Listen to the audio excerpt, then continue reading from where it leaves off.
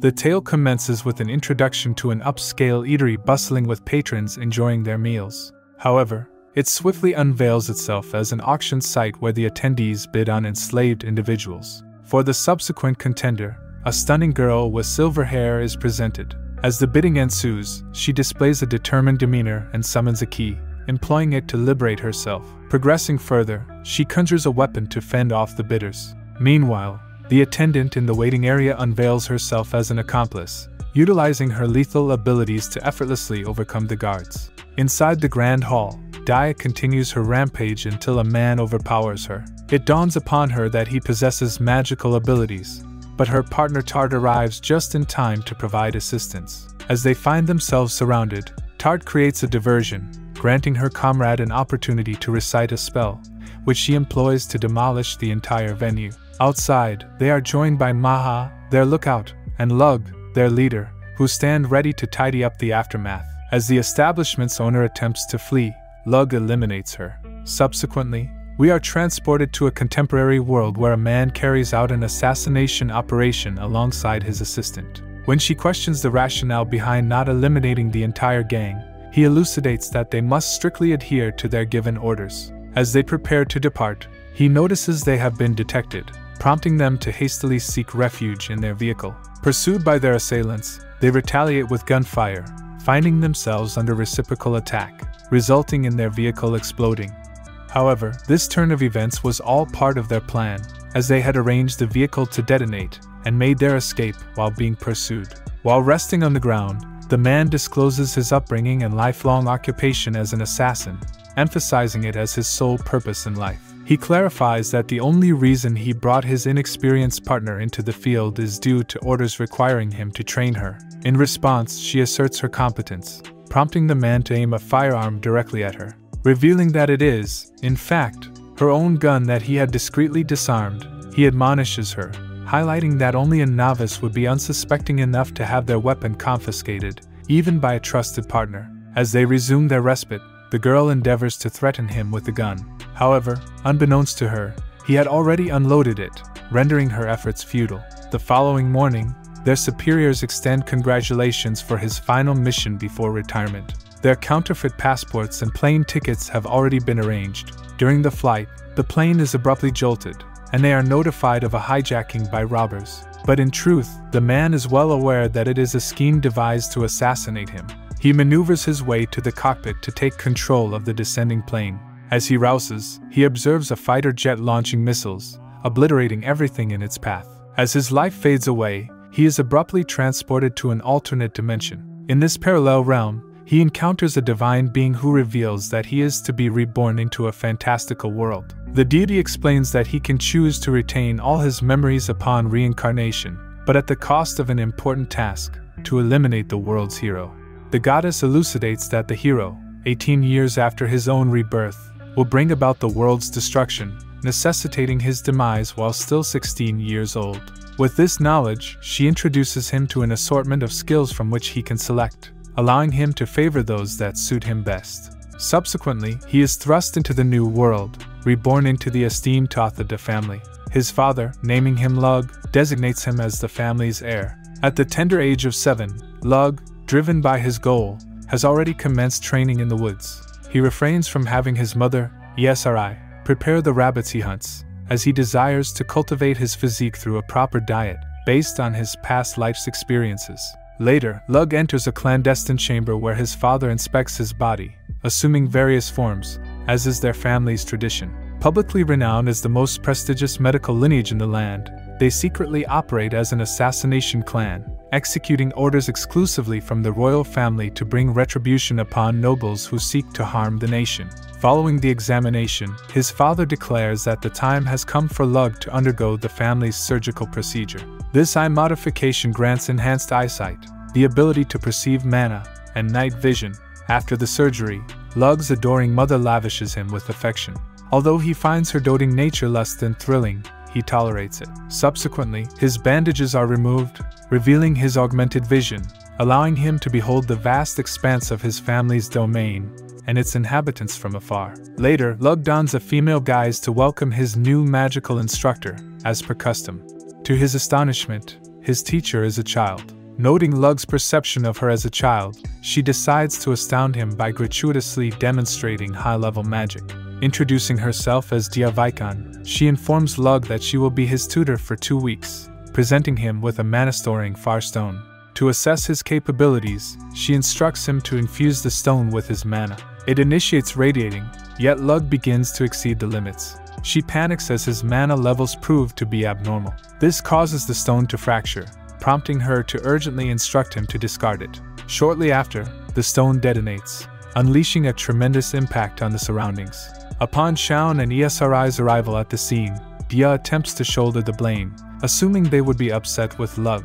However, their reaction is quite the opposite, as they express immense pride in his extraordinary abilities upon learning that he caused the explosion. The following day, she employs the Far Stone to determine his magical attribute. When he infuses it with mana, she tests for fire, which proves successful. Next, she tests for water, and it too works. Although taken aback, she proceeds to test for earth, and he exhibits a positive response. Subsequently, she attempts wind, revealing that Lug possesses four magical attributes. Under Dia's guidance, Lug embarks on his mana training, delving into a state where she facilitates his connection with his mana. Afterwards, a new spell materializes in his mind, but when Dia instructs him to recite it, he finds himself unable to decipher the words. Consequently, she provides him with an example of a spell, prompting Lug to mimic it, albeit with some difficulty enunciating the words correctly.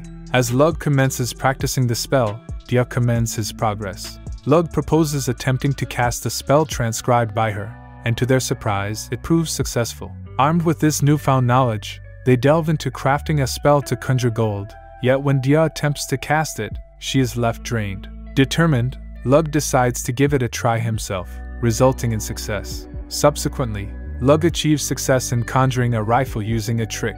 Dia effortlessly replicates the spells he transcribes. Next, he fashions a cannon, which, upon being fired, triggers a massive explosion that unsettles diameter. During the night, Dia reveals that their two week period has unfortunately reached its conclusion. As a token of their friendship, Lug forges a special alloy blade, which he presents to her. In return, Dia offers him her cherished magic stone as a gesture of gratitude. Later, Shaun, Lug's father, escorts him to a penitentiary, where he imparts lessons on the art of killing. He then leads Lug to a chamber where he is to carry out his inaugural execution. The inmate pleads for mercy, prompting Shaun to list her crimes, to which she offers feeble justifications. When Lug inflicts a minor injury upon her, she alters her tune, unleashing a torrent of profanities. Thus, he concludes her life. Elsewhere, an abandoned child collapses, forsaken by her impoverished parents. Struggling desperately to survive, she attracts the attention of a wolf pack. In the town, Lug and his parents engage warmly with the inhabitants of their realm, fostering love and connection. Meanwhile, Lug seeks individuals with strong mana compatibility, but his search leads him to encounter an elderly man. Later, he expands his quest for a capable assistant skilled in mana. Several weeks pass, and while embarking on a hunting expedition, he traces the presence of a wolf pack only to discover them encircling a young girl. Acting swiftly, he steps forward to defend her. On the ground, he meticulously eliminates each wolf, ensuring their swift demise. Recognizing her hunger, Lug treats her to a meal. In exchange for her unwavering assistance, Lug strikes a deal to take her under his wing. Accepting the offer, she introduces herself as Tart so Lug warmly welcomes her. Meanwhile, it is revealed that the goddess had summoned an elite special forces unit as a reincarnate to vanquish the hero. When she assesses his progress, she discovers that he has become a NEET with no intention of becoming a warrior. Several years later, Tart, now 12 years old, dutifully serves Lug as his master. In the training chamber, Tart disrobes, allowing so Lug to scrutinize her form in various poses. Lug has diligently molded her into a flawless assistant, primarily serving his own interests. He acknowledges that her sole flaw is her limited proficiency with a spear. Upon attempting to train with a knife, her skills prove lacking, prompting Lug to intervene and halt her practice. Accepting her inability to wield a knife, he conjures a collapsible spear for her. Equipped with this weapon, her combat prowess experiences a significant boost. By studying the one he received from Dia, Lug begins storing far stones imbued with mana intending to utilize them as weapons. Later, Shaun discloses that it is time for Lug's final assessment before he is recognized as a fully fledged assassin. For this trial, Lug must face his father in combat. Thus commences the assassination test in the woods as the two assassins finally cross paths, engaging in a fierce clash. Lug's leg is crushed by his father, compelling him to swiftly retreat and tend to his wounds. Despite possessing assassination skills from two lifetimes, Shaun ensnares him in a trap, which serves as a diversion for an ambush from behind. Lug narrowly manages to evade the attack. The duel continues, with their blades colliding, but Shaun once again vanishes into the shadows. Lug opts to lure him in, and within a brief span, Shaun launches an attack from the right, followed by another from the left after a calculated interval. However, Lug perceives through the ruse, allowing him to descend from above and swiftly end the fight, emerging as the victor. With the battle concluded, Shaun embarks on an assassination mission, accompanied by Lug. They work in unison, eliminating various nobles using diverse methods. His father unveils the next phase of Lug's advancement, constructing a false identity as a merchant who can gain access to affluent nobility. Assuming the persona of Illig Bela, Lug undergoes two years of training as the son of the merchant family. During his Sandfort party, Rana from the branch family creates a disturbance, objecting to Lug, who is younger inheriting the family leadership. Rana claims superiority and Shaun negotiates an agreement, stating that Rana will recognize Lug if he triumphs in a duel. When they are commanded to fight, Lug gains the upper hand over Rana before he can react. Despite the battle's conclusion, Rana remains dissatisfied and retaliates, effortlessly incapacitating Rana by twisting him and fracturing his arm.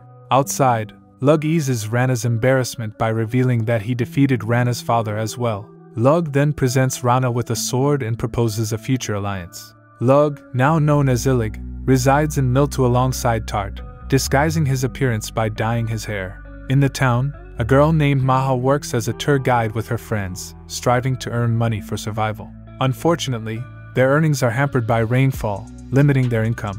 While seeking refuge, a group of thugs arrives aiming to capture them. Maha employs her mana to create an opportunity for her friends to escape. Despite their efforts, the desperate men manage to apprehend them all. The captives are taken to an orphanage under the supervision of a man named Torin. Inside, they reunite with other captured children and receive meager supplies to sustain them for a week. In the orphanage, they are subjected to menial tasks such as laundry and sewing, enduring severe beatings for any misbehavior or complaints. In a turn of events, a nobleman arrives at the orphanage and hands money to the men. Maha is forced to bathe and dress up her friend Ifa in fine attire before she departs with the nobleman. Subsequently, the girls are subjected to nightly exploitation by men until their spirits are broken. One night, Noin reaches her breaking point and vents her frustration by self harm. Years later, Maha overhears the owners plotting to exploit her as she has reached maturity. Filled with desperation, she flees to a secluded location. There, she contemplates self harm, but Lug intervenes, preventing her from proceeding. The girls are introduced to Lug, who is visiting as Illig, and he chooses to purchase Maha. After completing the transaction, Torin reveals that Lug can take her after three days, as he intends to manipulate her during that time. Under the cover of darkness, Torin escorts her to serve one of his customers for the day, but driven by desperation, Maha jumps out of the carriage. She begins fleeing, but Torin's subordinate apprehends her, aided by Mana. As she is recaptured, Lug arrives in the nick of time to rescue her, and an enraged Torin commands his subordinate to capture both of them for sale. However, Lug effortlessly overpowers the man who attacked him and proceeds to intimidate Torin. Several days later, Mr. Lug's assumed father presents him with a shop to commence his trading venture. At home, Tart, whom Lug has adopted as his sister, serves him dinner. During the meal, Lug discloses his plan to sell cosmetics and confections in his new shop. These products will allow him to establish connections with the nobility, as they hold an affinity for such items.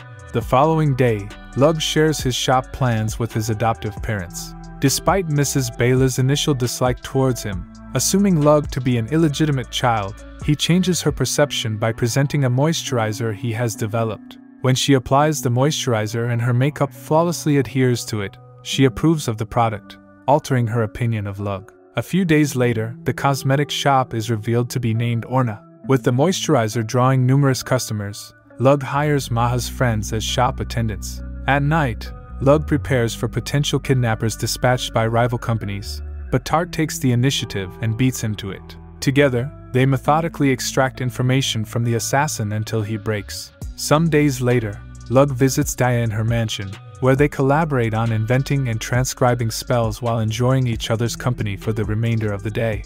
As Lug relaxes near his shop, he acknowledges that his time as Illig Bela will soon draw to a close, though he has successfully assimilated into high society due to his cosmetic business. Lug subsequently appoints Maha as the assistant manager and hands over the company to her. The workers bid Lug farewell and offer him a parting gift as a gesture of goodwill. While Lug and Tart journey back home, he senses danger outside the carriage, which proves to be a pack of wolf monsters. They instruct the other travelers to take cover, and Tart takes the initiative, readying herself for battle.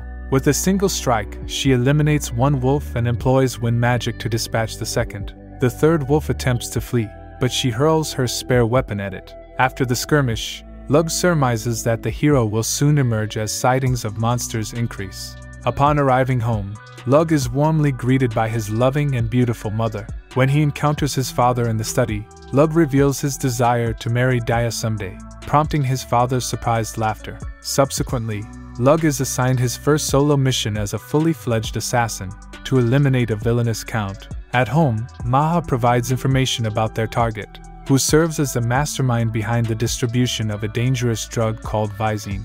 Later, they receive an invitation to a gathering organized by the Mark. At the event, all the ladies are thrilled as Lug showcases his new merchandise under his merchant disguise. He rendezvous with the Count, who takes a liking to him for bringing items that bring happiness to his wife. A few days later, Lug arrives at the mansion alongside Tart to carry out the assassination. Utilizing his enhanced vision and rifle, he snipes the Count from a distance. Subsequently, Maha discloses that she has located the sacred artifact he requested, which turns out to be a magical spear named Gae Bolg. However, it is currently in the possession of a man named Setanta Magnus, who is presumed to be the hero. Moreover, she reveals that a civil war has erupted in Dia's kingdom, with her family being compelled to join the conflict. The troubling aspect is that the hero fights on the opposing side. The following day, Lug visits Dia, but she puts up a brave front, assuring him that he needn't worry. They decide to embark on a date, prompting Dia to dye her hair to match Lug's. Later, they enjoy a meal together, with Dia commenting on the superior taste of Lug's cooking compared to that of restaurants. After their date, as Lug makes his way back home, it is unveiled that the townspeople, who appeared to be ordinary civilians, were actually soldiers staging a final spectacle for Dia before she heads off to war. Upon arriving home, Lug discovers an injured man being tended to by Shaun. Shaun informs Lug that the man is a client who has enlisted his services. He further reveals his request for Lug to carry out the assassination, with the target being Dia Viekone. Witnessing Lug's shock, Shaun states that he can decline the job, but Lug has some inquiries. When Lug questions their interference in another country's affairs, Shaun explains that certain nobles are targeting Dia due to her noble lineage and knowledge of magic, as House Viekone lost the war. Dia has agreed to this arrangement in hopes of ending further bloodshed, but the townspeople have formed a rebel army to resist. Shaun adds that the actual client is Dia's father, and what he truly desires is for Lug to fake killing Dia, as that is the only way to ensure her safety. Lug ultimately accepts the assignment and sets out with Tart, who decides to employ her mana to transport him part of the way, conserving his own for combat. However, her wind magic dissipates due to mana depletion, compelling Lug to continue the journey alone, leaving behind a tearful Tart. Lug reaches the battleground where the Viekone mansion is surrounded by enemy forces eight times larger than their own. Upon observation, Lug initiates the process of eliminating the commanders one by one through sniping, leading the enemy army to become cautious and retaliate. By attaching distant stones to arrows, Lug triggers powerful explosions within the enemy camp, boosting the morale of the Viekone forces who fight back with renewed vigor. Utilizing sound detection, Lug searches for an opportune moment to infiltrate the mansion. On the opposite side, Lug reunites with Dia, Subsequently, Dia's father, Dimmer Viekone, introduces himself. As they strategize for the future, Lug plants the body of a deceased girl to stage Dia's fake death. He instructs her to shout through the window before executing the plan. However, as she moves and opens the window, Lug senses a looming danger of impending death. In that critical moment, he swiftly saves Dia from harm as Gae Bolg wreaks havoc on the battlefield. When Lug catches sight of the hero, who possesses immense mana, he swiftly conjures a cannon and fires it at him. The impact creates a massive explosion, yet the hero quickly recovers, brimming with excitement for further confrontation. The hero activates his Berserk skill, enhancing his already overwhelming strength, and proposes a duel as a trade off. He promises not to harm anyone else, prompting Lug to accept the challenge. Though Dia is apprehensive for his safety, Lug reassures her that he will fight as an assassin rather than a knight. Together with Dimmer, Lug negotiates the terms and conditions for the duel, compelling the hero to pledge the withdrawal of his forces if he is defeated. With the arrangements settled, Lug buys time by engaging the hero in trivial conversation. As the hero prepares his weapon for battle, Lug suggests commencing the duel upon the coin's descent after he tosses it into the air. However, just before it lands, an explosion occurs. Lug reveals that he had launched a missile into space prior to the duel, carefully planning its trajectory using the coin. The resulting blast is so immense that it nearly claims Lug's life, despite his casting. Following the intense battle, Lug returns home accompanied by Dia. And with that, the anime concludes. If you enjoyed this content, don't forget to like and subscribe, and turn on the notification bell to stay updated on future videos. Until next time, take care.